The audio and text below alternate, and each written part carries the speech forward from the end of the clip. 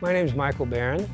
I'm a professional surfboard shaper. I've been shaping surfboards and surfing for over 40 years. Got into shaping when I was 12 years old. My dad made our, me and my sister's first boards and that gave me the inspiration to start shaping boards. And the second board I shaped, I used in the United States Championships, which I got second place on.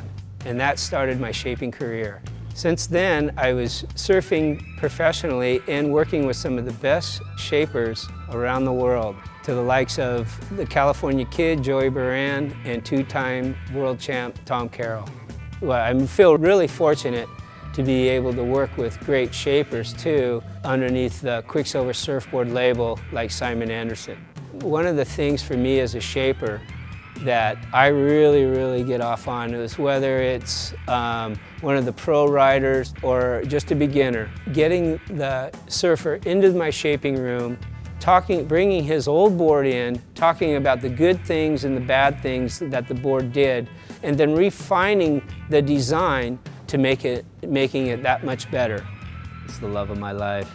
I live it, breathe it, sleep it. It's what I do. Shape surfboards.